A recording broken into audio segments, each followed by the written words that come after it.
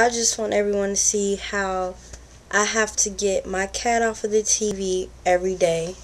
And he just thinks he owns it. I mean, he just thinks he owns the TV. He doesn't care. He just, it's just going to stand there. Look at him. Can you get off my TV? You're not going to get off the TV, are you? You're just going to stand there and try to look cute. Can I pet you? Hmm?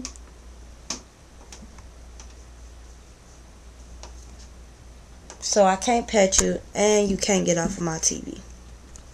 He just thinks he's running the whole room. He doesn't run anything, trust me. Nothing.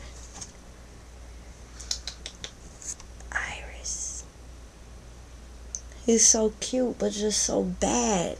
Why do you have to be so bad? He's bad. Don't let that cute face fool you. Because it doesn't fool me. Say hello, Iris. but that's what he's doing. And that's what he does every night. Stand on the TV and stare at everything.